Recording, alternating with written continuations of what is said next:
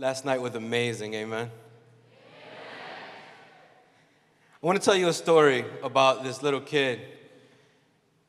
Um, but first, in order for me to tell you the story, I have to kind of like see if this is going to work in this area. Um, kind of builds up the excitement of it a little bit. I'm not sure if it's going to work. I always feel stupid every time I'm going to do it because it reveals my nerd.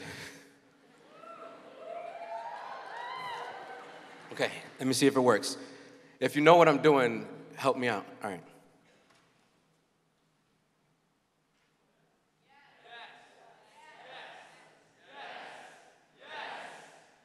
Okay, get up. Get up with me. Come on. Get louder. Louder. Oh, you made me feel so nerdy and happy inside. Thank you. Good job. Some of you are like, what am I yesing about? What are they doing? I'm a huge fan of wrestling. I've always been a huge fan of wrestling. You can't see me. Um, there's a story about this little kid. His name's Connor the Crusher. Connor, Connor's this kid who's he's a huge, huge fan of wrestling. And um, Connor, Connor had uh, brain cancer. And one of his last wishes was to meet his favorite wrestler. And he had an opportunity to meet his favorite wrestler, and he came in and and he just won over the whole locker room, the whole industry fell in love with this kid. His life was just that amazing. His personality, his charisma, everything about him was just so amazing that these superstars were just falling in love with him. They invited him to go to the, the Super Bowl of wrestling events, WrestleMania, and he got super excited. He got to sit ringside and watch everything happen. Well, his favorite wrestler is wrestling and ends up winning the championship. This guy is, you know, a shorter wrestler, not exactly your traditional, you know, bulked up wrestler. He's just a shorter guy just doing his thing. And he won the championship. And you would think that in the glory, in his glory, in his moment to shine, that he would be all about himself holding up that championship belt. But we see when he wins that he's running around the ring frantically looking for someone. And he finally makes eye contact with Connor the Crusher. And Connor's over there, and Connor's real sick, real pale at this point in time. Like he's trying to hold on for the match, but he's just whatever. And the wrestler comes down and he goes to Connor and he goes, We did it. And they hold up the championship belt together. Connor, a week later, ends up passing away. The last, the last moments of his life, Connor felt like a champion. But he left such an impact on all those superstars that they could not stop talking about him. So much so that this year they inducted him into the WWE Hall of Fame and awarded him the Warrior Award. There wasn't a dry eye there. Because Connor lived a life worth talking about. In his small little lifespan, he lived a life that was worth talking about. He lived a life abundantly. Death could not hold him down. He didn't care that he was about to die, he cared about living, and he did it. I want us to have that same exact life.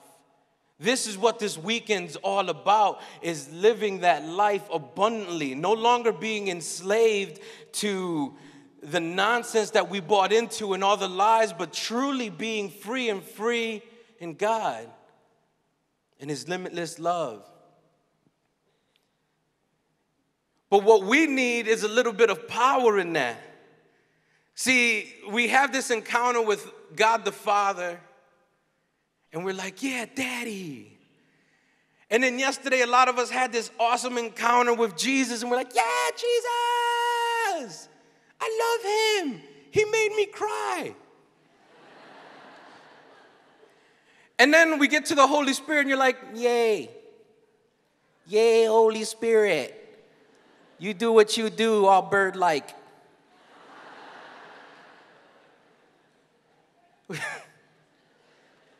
In our profession, when we, when we speak our creed, we talk about the Holy Spirit, the Lord, the giver of life.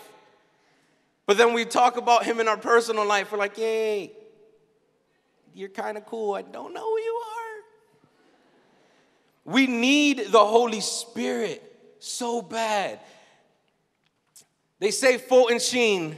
Fulton Sheen was kind of like the beginnings of what Father Robert Barron is today. You know what I mean? Like, he's the one who like took it to the media and he talked and he had shows and he had books and he was a man.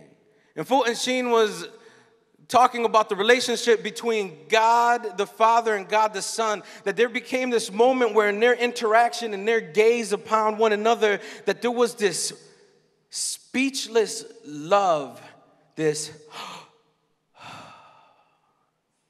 that moment of breath, of wow. And he said that that moment is the Holy Spirit. Yesterday, when you were eye to eye with Jesus, I had the opportunity of seeing some of you just look face to face with Jesus. And some of you had that moment where you're just like, and that was the Holy Spirit. You know that feeling because you can probably tap back into it yesterday. That moment that you realized that you were looking into the eyes of love, that you were looking into the eyes of your Lord. When I met my wife for the very first time, I was DJing. I used to teach Latin dancing. I was not good. But to most of the white people that attended my class, they're like, whoa, he's spectacular. He should be on Dancing with the Stars.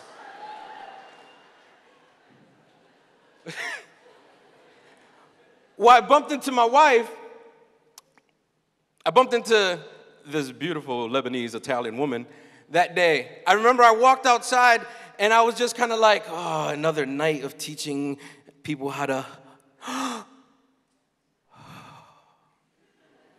My heart is, I wish you can't, you can't hear it. It's, it's racing now. I was completely blown away by how beautiful she was, completely and utterly blown away. And I remember I tried to play it cool.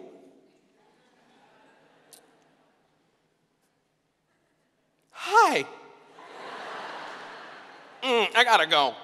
And I went inside and I started talking about, I met the girl of my dreams. I'm gonna marry her. My friends go, You said you were gonna marry everyone. But this is different. My heart did thump thump and not just thump. When me and my wife eventually we came up to the altar and we exchanged that gaze and we exchanged these vows that we are going to be with us together forever, we both kind of looked at each other and went, and out of that love and that complete surrender and that complete emptying to one another, the creation of of uh, Cecilia, my daughter, came to be. No, babies don't come from bad breath. But there was love that was there. I want to show you guys a picture. I don't have it on the big screen. Where their cameraman? Where's the cameraman guy?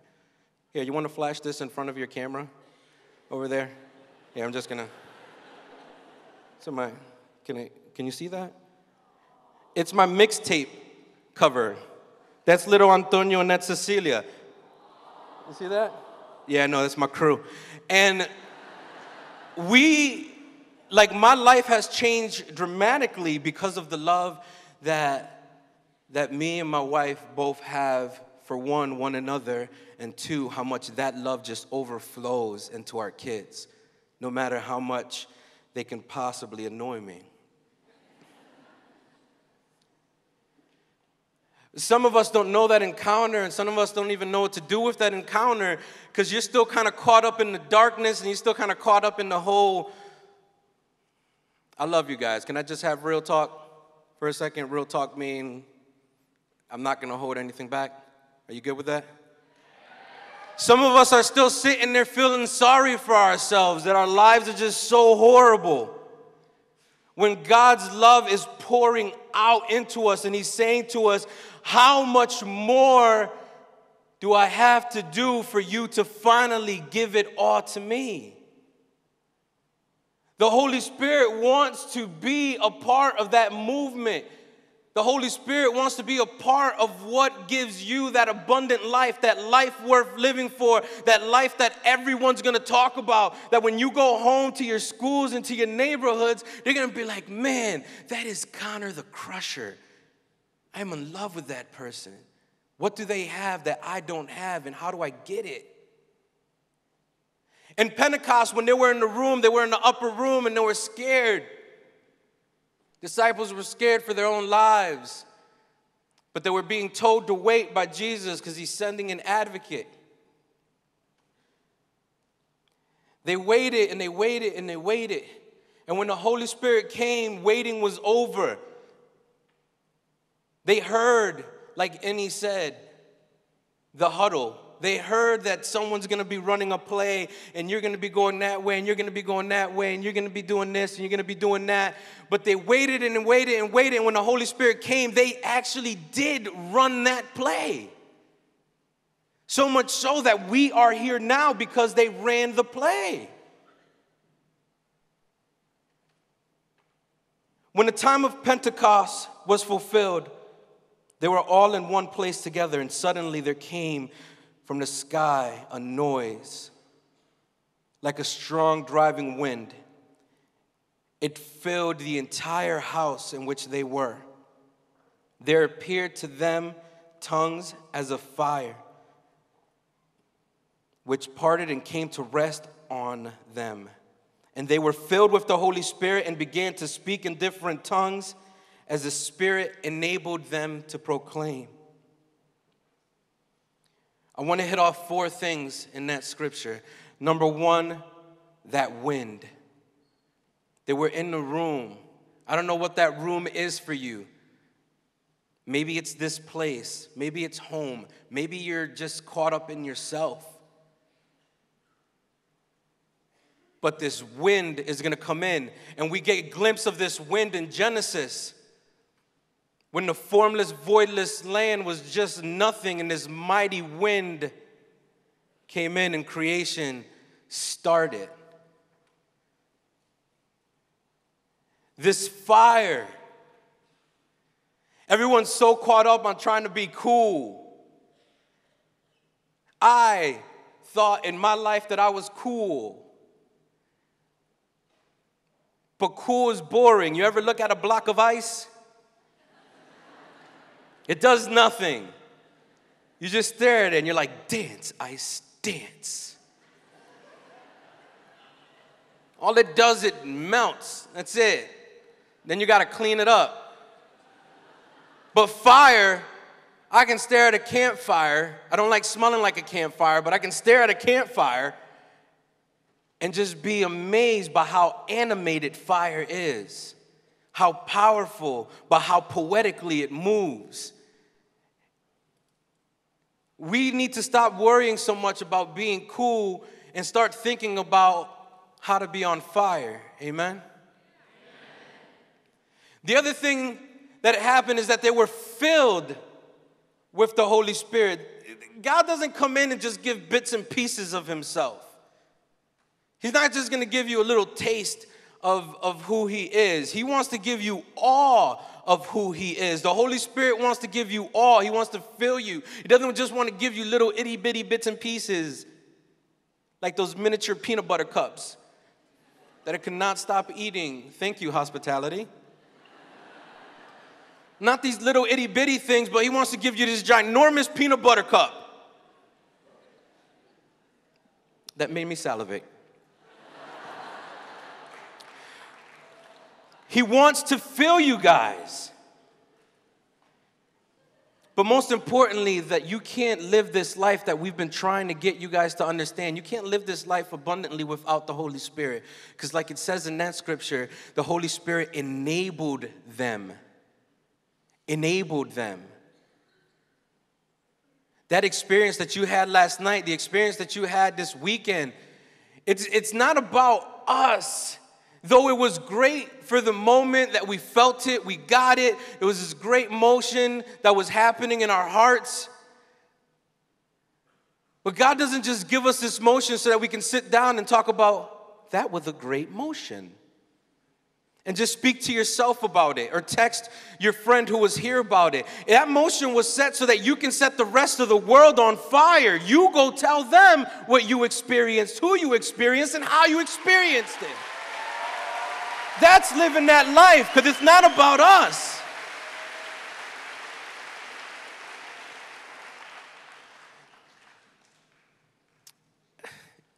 I want to tell you guys the story of, of my fear. Listen, the only thing separating me from you right now is two and a half feet of stage. Like I said from the get go, we're, we're human. I don't, I don't float to, to the places that I walk to. I don't have a halo that I hang up at night because it's uncomfortable to sleep with. I don't have these wings that are magically tucked behind my shirt. You know, I am no different than you guys. None of us are any different than you. The only thing that separates us are these two steps. That's it. And now, for some of us, we're eye to eye. When I went to Hawaii, I got woken up in the middle of the night by a bunch of big Hawaiians, probably three times my size.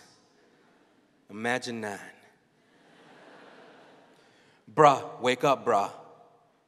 You wanna be Hawaiian, bruh? No? bruh, come with me. And stupidly, I followed. I got in the back of a pickup truck don't do this at home. and they drove off and they brought me to the end of the island. I heard what I thought were trains, and they said that doesn't make sense. We're on an island. There was this noise that just kept rumbling, and my heart was starting to be just kind of get scared just at the noise. They said, in order for you to be Hawaiian, bruh, you're gonna have to take this fishing pole and cast out. You cast out off the cliff, you catch a fish, you Hawaiian, bruh. You know catch fish, you're not Hawaiian, bruh. This cliff is 40 feet off the from the ocean. And I can see waves crashing against the rocks and slowly coming over. At the time, I had a busted up leg, nasty leg. And they go, This is where you fish, bro. And it was this like diving board sized platform. I'm afraid of water, I'm afraid of height. He goes, When you fall over, bro, don't swim towards the rocks. And I go, When? Shouldn't that be an if? And I go out there and I'm scared. I'm gonna be completely vulnerable with you guys right now. The thought of it right now is making my heart race. I was so scared. I knew God had my back, but there was something that was really keeping me back. I remember at one point in time, I'm out, and a wave actually comes and knocks me down. And I was so scared because I felt at that point in time I'm gonna fall into the ocean. And I grab onto the cliff and I actually start crying. And I go, God, I am so terrified of you right now. I don't care about this ocean. I don't care about how high I'm off the ground. I care about how powerful you are. And at the blink of an eye, if you chose to, I wouldn't exist. You created me. Give me the strength to get up and cast out. And with that came a mighty wind. And I remember just getting up like a warrior, valiant warrior, just standing up. And I cast it out. And I caught nothing. And I cast it out. And I caught nothing. And finally, I cast out And my prayer is, Lord, if this is any indication of what my ministry is gonna be like, amen. But I'm not leaving this place until I catch that fish. And finally, I get a tugging on my rod. And I'm fighting like if I'm catching a shark. Ah. And I come back and I grab this little itty bitty ahi fish. And I look at him and I say, if this is the one heart that I go through all the dirt, through all the fear, if this is the one heart that the Holy Spirit has inspired me to go out into the edge of the cliff, into the edge of darkness, into the edge of the abyss, if this is where I put my heart and my ministry so that I can grab just that one heart, then I would do it over and over and over again. You are called not to be fear, full of fear, be cowards. You're called to be greater than that. I know that trusting is not our thing. We're human, we want control, but I'm asking you to lose that control right now and let the Holy Spirit guide you so that you can cast out into the deep for that heart that has been longing to find our Lord. Let's pray. Spirit, lead me trust is without borders. Let me walk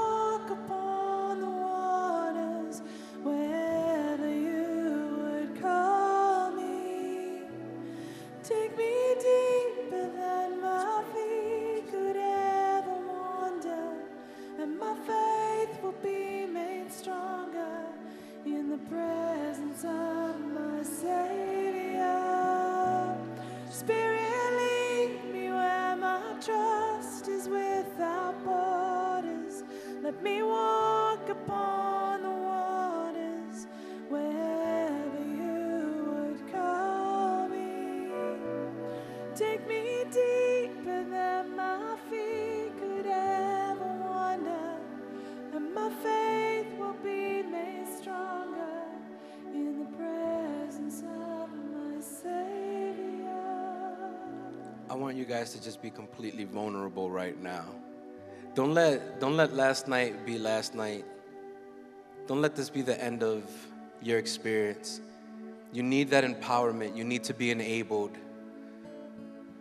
So I want you guys to just open up your hands right now. This is a sign of just complete surrender. And let's invoke the Holy Spirit to come into our lives so that we can really genuinely lay down those trust issues that we have, that we can really go out into the deep. I want y'all to say this with me. Come, Holy Spirit. Come, Holy Spirit, and fill my heart. Give me the courage. Give me the strength. Give me that love to go out and reach other people, to tell them my story for your greater glory, Lord.